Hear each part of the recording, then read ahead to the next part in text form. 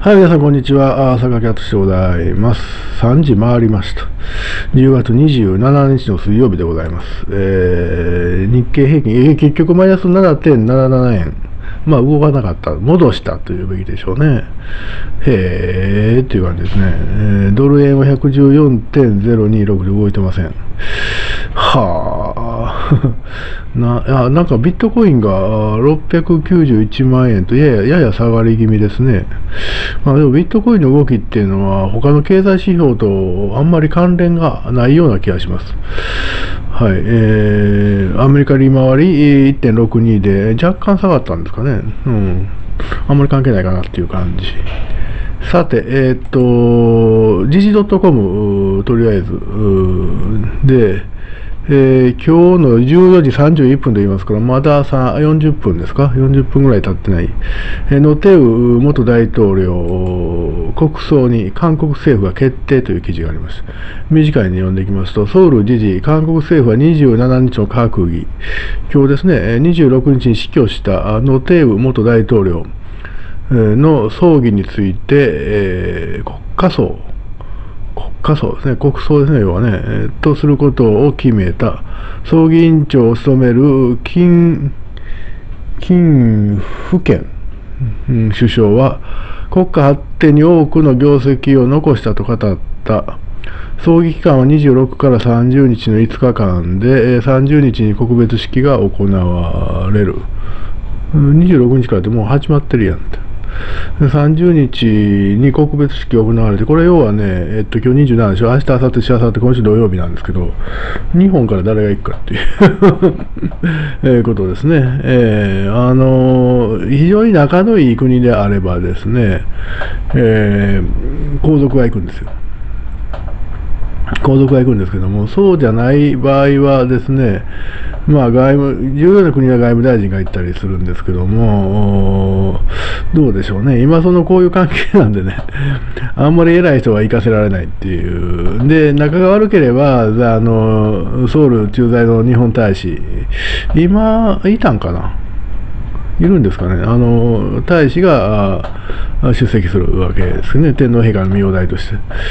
どうなんでしょうね、ちょもうちょっと読みましょう、うん大統領経験者については、国家葬を行うことができると法律で定められている、ただ、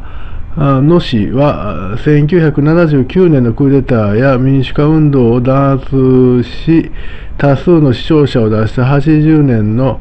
公衆事件に関わり、後に内乱罪などで有罪判決を受けたことから、一部で国家葬に反対する声も出ていたということですね。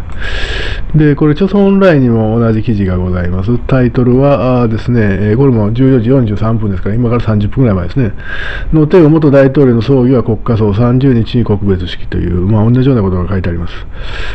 で、同じようなことが書いてあって、えー、野氏は1988年に大統領に就任し、同年ソウル五輪を成功させたほか、在任中にソ連や中国との国交正常化を果たした。93年の大統領退任後、前任の大統領の前都官、うん。うん。我々前都官、この前都官さんまで我々は日本語で呼んでたんですね。この後のこの野手ウさんからはですね、向こう読みでなぜか読むようになりまして、まあ向こうの希望やということですけど、野手ウさんってこれ、日本語でどういうんですね、ロ、ロタイグですかね。まあよう知らんけど。チョン・ドーファンですね、前途官さんは。チョン・ドーファン氏とともに過去の軍事クーデターなどの責任を問われ、懲役刑を受けたが、97年に特赦で釈放された。つまりこの方も GoTo プリズンを経験したわけですね。まあ、もうちょっと正確に言うと、ウェントゥープリズンですけど、ウェン、ハブ、ハズ、Have wented、あ、 have wented って言わないか、 gone、have gone to prison ですかね。 Had gone to prison ですかね。ようわからん。えー、要は行かれてたわけですね。行かれてたわけです。えーその方が亡くなったと、昨日か一昨日ですかね、亡くなったというニュースが出てきましたけど、その方を、あれです、えーお隣さんは国家葬、国葬にするということでございます。これだからね、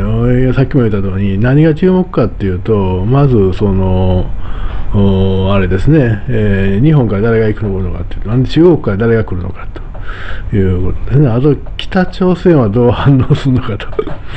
いうところもですね、ちょっとしたあれですね、見ものでございまして、まあ、コロナという理由でね、あの誰も来いひんとこう呼ばへんということもありえます。ありえますね。はい。うん、まあ、でも日本からも行かないんかな、コロナを理由に。あの、日本は収まりかけてますけど、お隣さんまだね、えー、今日も1900何人という発表があります。えー、ですんで、まあ、それを理由にですね、行かないという選択肢もあります。で、あと、不思議なのはですね、この野手ウさんという方は、えー、チョン・ドーハンさんの確かね、士官学校同期とかなんかそんなんなんですね、お仲間だったんですね。で、チョン・ドーハンさんがですね、クーデターで政権を取ってるんです。まあ、あの頃はそういう、あの、お隣さんは民主国家とは言えず、完全に民主国家とは言わない、言えずに、クーデターで政権を取って、そその後、選挙によらなかったんじゃないですかね、ノテウさんが、ノテウさん大統領になったのは、私の記憶では。えー、正式な選挙によらずに大統領になって、チョン・ドーハンさんを引き継いだんですね。で、えー、言うてみればですね、非民主的大統領であり、軍人さんであり、えー、まあ、軍事政権の最後の人と言うべきでしょうか。ただ、この方はね、あんまり悪い印象ないんですよ。あの特に日本にとって何か、何かやらかした人という印象全くないし、言動も穏やかやったような気がしますね。えー、でも、後にですね民主、民主派政権ができた時に罪に問われてですね、えー、GoTo プリズン、大統領は、元大統領は GoTo プリズンという伝統を作った2人目の人ですね。チョン・ドーハンさんも GoTo プリズンでした。えー、なんで、あのー、あれですね、えー、軍事政権系の人なんで、今現政権はムン・ジェインさんって、これは左派系の人ですから、あの、まあ、言うてみれば敵みたいなもんで、ムン・ジェインさんはノテウ時代に学生で投獄された経験があるんちゃうかなと。いう気がするんですけど、えー、それを国葬にするということはね、ムン・ジェイン政権側に何かの意図があるわけですね。あの来年の大統領選挙でですね、保守系の人たちがいっぱいその保守にこう集う、う保守系の大統領に投票するというのを防ぐためかなと思うんですけど、でもようわからんですね。えー、あの保守に冷たいというイメージがありましたんで、それを拭うために国葬にするんでしょうかね。なんかそのあたりの意図ようわからん。ようわからんけども、その本来ならしない人ですよ。一回有罪判決を受けて服役して恩赦で出てきた人ですから、そんなせえへんって言うてもですね、全然通るわけです。で過去にあの朝鮮戦争の英雄とかですね、あのパク将軍っていたんですけど、もうしませんね、ものすごい冷たい扱いでしたからね。えー、だから保守系には、保守系には辛いんかなというそれは、辛いんかなと。保守系に辛いということをあの時散々言われたんで、それで反省して、いや、そんなことないねんで、ということを示すために、この方を、ノテウさんを国葬にしてるんかなという、なんかそんな感じは私はしますね。えー、なので、まあ、日本から、あ、日本から元総理とかね、あの、森さんあたりがちょうどええんちゃうの？お、じいさん、ほら仕事やで、行ってこい、みたいな。仲良かったんちゃうかな、あの人、新刊林。えー、あのおっさん出したらええな、お前。行ってこいって。あの特使にしてね、えー、あの総理大臣の特使にして、えー、抑えてください。もう五輪のね、五輪であんだけあのボコボコされたわけですから、ちょっとぐらいもうちょっと最後のご奉公せえやみたいな、まあ、そういうのが一番理想的 ではありますけどね、元総理、そうですね、森さんあたりがちょっと適任ちゃうの、えー、と思います。はい。えー、ということでですね、あの何でもないことなんですけども、あの注目点は日本から誰が行くのか、中国から誰が来るのか、北はどういうのかですね、えー、アメリカの大した人間は送ってこないと思います。まあ、もしかしたら中間大使で書いとくか。今、中間大使いない。代理大使しかいない。ちょっと格が落ちますけどね。まあまあ、まあまあ、まあまあ、わざわざ、わざわざワシントンから人が行かないとは思うんですけど、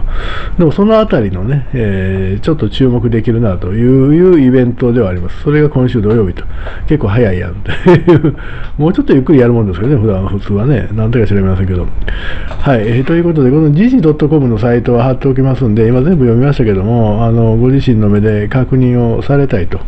いう方は、あ行ってみられれば、見てみられればいいかと思います。ノムヒョンさん、あノムヒョンさん、のノテウさん、ややこしいね、同じ名字で。ノテウさんね、こんな顔いいはったなと、僕の年代は懐かしく思い出す方でございます。はい、皆さんどうもありがとうございました。